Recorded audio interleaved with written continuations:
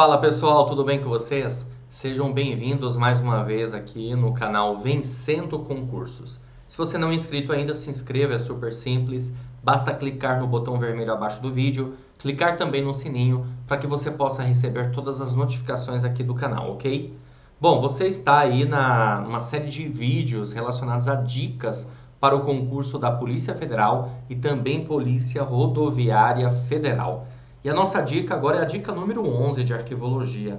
Se você por acaso não assistiu as, as dicas anteriores, faz o seguinte, clica aí no, no canal Vencendo Concursos, você vai encontrar lá na página principal uma playlist, tudo bem?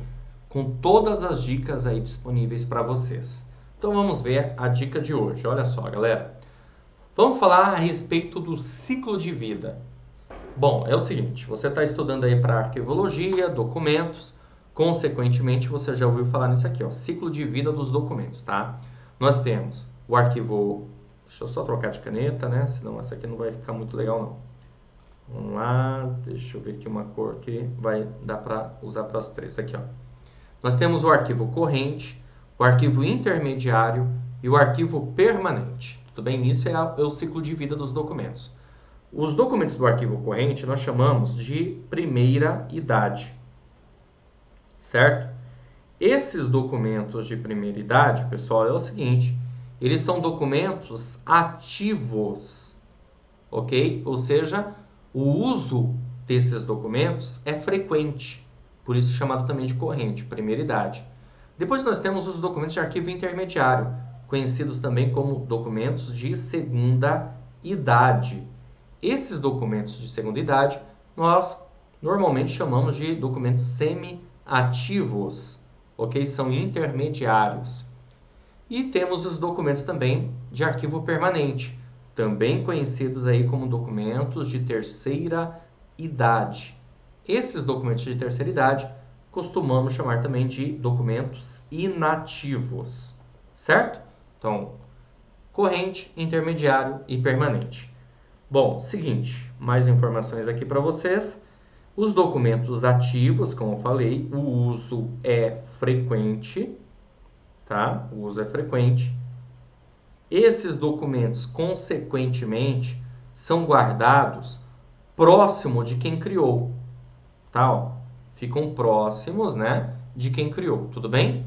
Então, ou, consequentemente, vamos imaginar aqui, ó, aqui é a, o prédio da Polícia Federal, e aqui vai ter um setor de arquivo, onde nós guardaremos os documentos de arquivo corrente. Já os documentos da segunda idade, intermediários, o uso já não é tão frequente assim, né? Pouco frequente. Tá? Vou colocar aqui, ó, pouco frequente, tá? Consequentemente, esses documentos ficarão guardados fora do local onde foram criados, produzidos. Então a gente tem aqui, ó, a Polícia Federal, tá? E aí os documentos de arquivo intermediário vão sair daqui e serão guardados num local apropriado para isso. Pode ser, por exemplo, por meio de uma entidade custodiadora que guardará esses documentos. OK?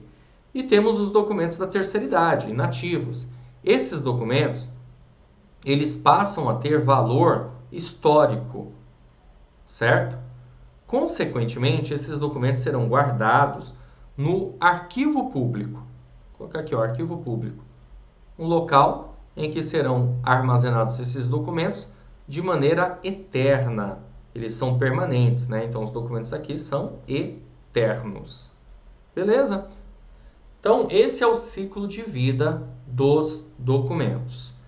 Bom, galera, é isso aí. Espero que essa dica aqui tenha contribuído tenha ajudado, que você tenha compreendido um pouco mais a respeito do tema chamado arquivologia. Claro que você precisa aprofundar muito mais a respeito dos assuntos que foram tratados durante essas dicas aqui. Como que você vai fazer? Simples. Você vai fazer assim. Você vai clicar no link abaixo do vídeo. Eu falo simples, né? Porque você precisa clicar, evidentemente. Claro que você precisa adquirir um curso preparatório para isso. Você vai clicar no link abaixo do vídeo na descrição. Você vai ser redirecionado para a página do curso preparatório. Lá você vai encontrar todas as informações do curso, tudo bem? Todas as informações, ok? E assim, consequentemente, é, você vai entender melhor como que funciona o nosso curso. Nós temos um curso em, em que você vai ter teoria, questões comentadas, material em PDF, caderno de questões, ok? E muitas outras é, outros bônus, outras situações que com certeza absoluta fará você ser aprovado nesse concurso. E se mesmo assim você tiver alguma dúvida, você entrará em contato conosco via WhatsApp 11 94783 8693. Eu mesmo vou te atender, faço questão de passar todas as informações possíveis para você, para que você adquira o nosso curso Elite Federal. Esse curso é válido tanto para a Polícia Federal como também para a Polícia Rodoviária Federal. Ok? Vai servir para os dois concursos com todas as matérias abrangentes aí. E vou falar uma coisa para você, não é nada só jogado lá, resumido não. Matéria para valer, para você ficar craque e conseguir a sua tão sonhada aprovação no concurso. Vou ficando por aqui, um grande abraço para vocês e claro que a gente se vê numa próxima dica e dentro, claro, também da plataforma online Vencendo Concursos. Valeu, grande abraço!